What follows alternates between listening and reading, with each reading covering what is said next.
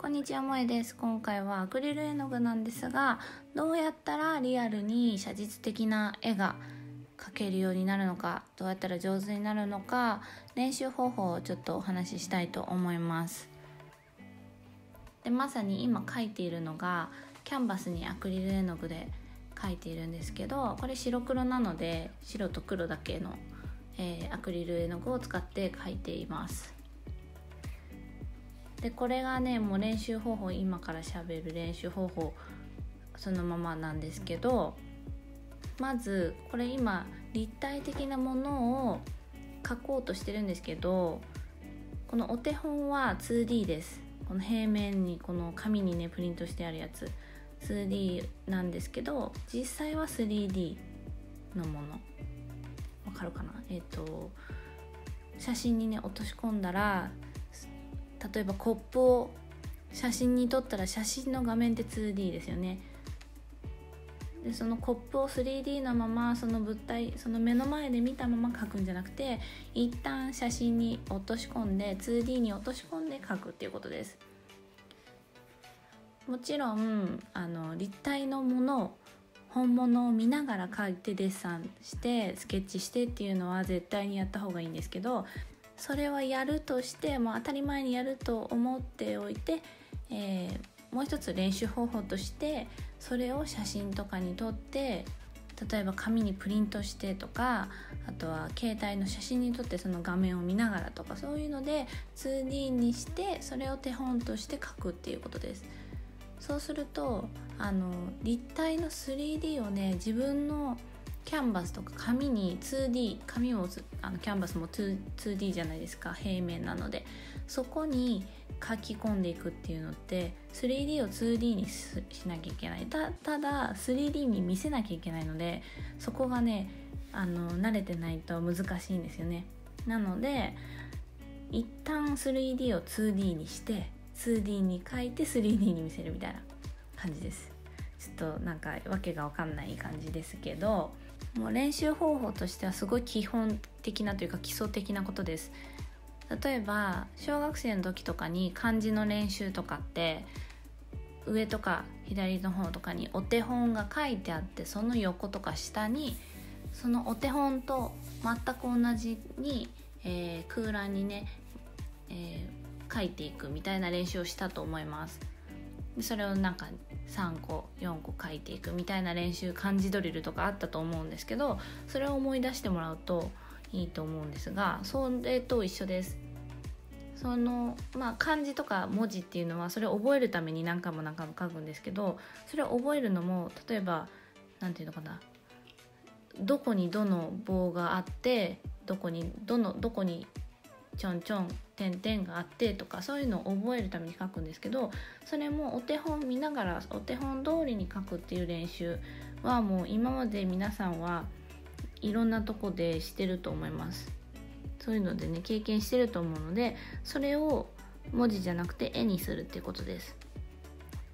でしかもまああの線だけじゃなくて色味とか影とかグラデーションとかっていうのが入ってくるので難しくなるんですけど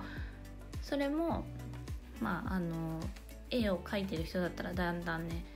えー、慣れてきたら描けるようになると思います。なので写実的なものを描く時にもちろんあの立体的なものを見てそのままスケッチをするっていうことは当たり前にしてください。なんですけど練習方法としては横にお手本を置いて描いてみるっていうのがすごくあの上達すると思います。で書いてる時ってあの何書いてるんだろうってちょっと思うかもしれません。例えばこれも今私メタリックな感じのちょっとピカピカしているものを書いてるんですけどこれもね結構ね気が遠くなりそうになります。あとなんかあ今どこの辺書いてたっけってちょっとねあれこれでいいんだっけ？みたいなあのによく分かんなくなる時もあります。これは小さいのでいいんですけどなんかすんごく大きいあのキャンバスに書いてたりするとちょっとでわけわかんなくなったりするんですけどそれもねもう我慢して頑張ってあのゴールまで行くと結果すごい立体的に見えたり写実的に見えるのでそこはね我慢してね頑張ってほしいと思います。なので最初はこんなちょっとややこしいものではなくってもちろんまカラーよりも白黒の方が多分最初簡単かなと思うので別にそれもアクリル絵の具じゃなくても鉛筆から始めてもいいと思うので、えー、例えばじゃあ家にあるコップをそのまま描く、まあ、そのまま描いてる描いたのとあの横にね、えー、2D にして描いたものと比べてみてもいいと思うんですけど例えばじゃあコップとかあとシャーペンとか本当にその辺にあるもの筆とかでもいいです。それを例えばもう簡単なのはあの写真に撮ってプリントしてってちょっと面倒くさいと思うので携帯みんなスマホ持ってると思うんですけど携帯電話で写真写メ撮ってそれを画面に映してその画面をね横に置いておいてもうその真横で紙にね鉛筆で書いてみるとかそういう練習するといいと思います。ただカラーのものを頭の中で白黒に変換してっていうのも結構あの慣れてないとその影とかハイライトの部分とか分かんなくなっちゃうと思うのでできるんだったら編集して白黒にして書いてみるといいと思います。なので白黒でね最初は鉛筆とかであの書いてみるのもいいかなと思います。ただこのあの画面上じゃなくってこのプリントした紙で書くっていうお手本ねプリントした紙にするっていうののメリットとしてはこう例えば今これ私が書いてるのは全体的にこう見ながら書いてますけどもう本当に細かい時とかはもう本当に何て言うのかなもう書いてるところ真横1センチぐらいの真横で書いてるみたいな。何ていうのかな。例えば今これ左足うさぎの左足書いてます。右足か。右足をねこう左側の足。あのこっちから見ると左側の足書いてますけど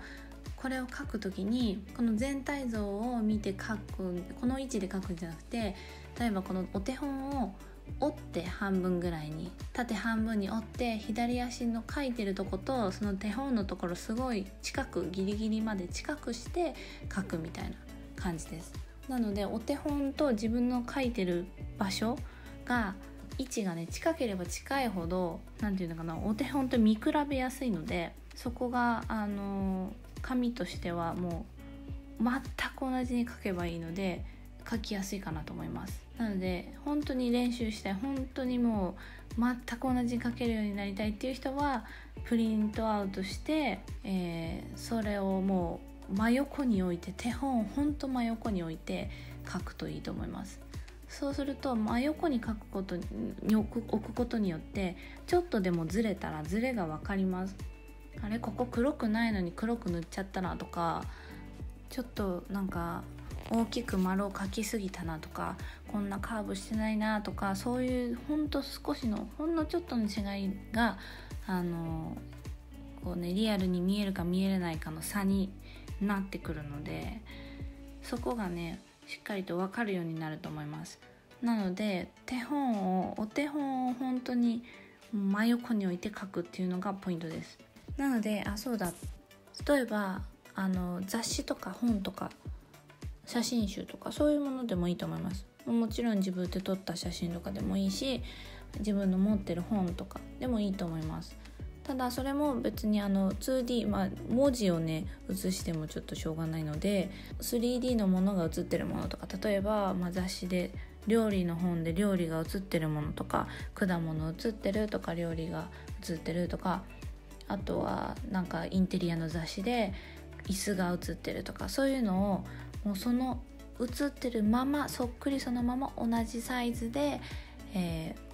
ー、同じ色で描くとかねそういう練習をすると写実的な絵のかあのが描けるようにちょっと描きやすくなると思います。あの身の回りにあるものからどんどん描いていくとあの楽に練習できるかなと思います。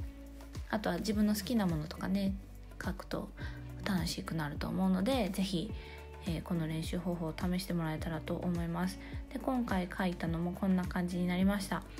で、えー、手本を見ながら書いているのを見てもらったのでどんな感じで出てできていくかねちょっと分かってもらえたかなと思います、えー、この動画いいと思ったらいいねボタンよろしくお願いします。そして、えー、インスタグラムもやっているのでそちらもフォローしてもらえたら嬉しいです、えー、ではまた次の動画で。バイバイ。